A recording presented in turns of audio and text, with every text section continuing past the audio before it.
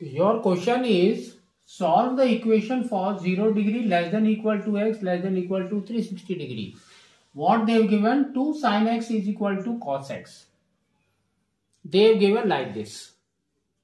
So what we have to do?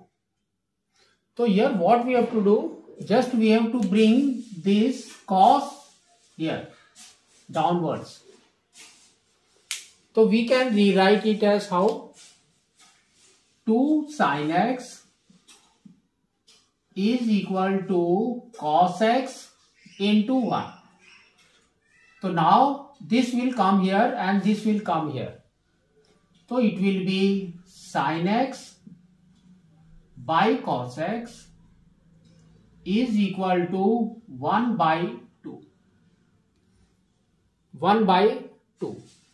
So now it will be what? Sine by cos is tan.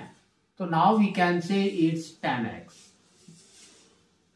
is equal to 1 by 2. So what is your x? So x is tan inverse of 1 by 2. That is equal to tan inverse of 0.5. So first we will find out this value with the help of a scientific calculator. So we will open our calculator. What we have to do, I will tell you. First we have to select inverse. Select inverse. Then we have to select degree. Degree. Then we have to press tan inverse. Tan inverse. And we have to type 0.5 or 0.5. So we will get 26.56. 26.56. So now we can say x is equal to 26.56. That is equal to 26.6 degree. This is your x. Now just uh, see where tan is positive. This is positive. Where tan is positive in the first and the third quadrant first quadrant and the third quadrant.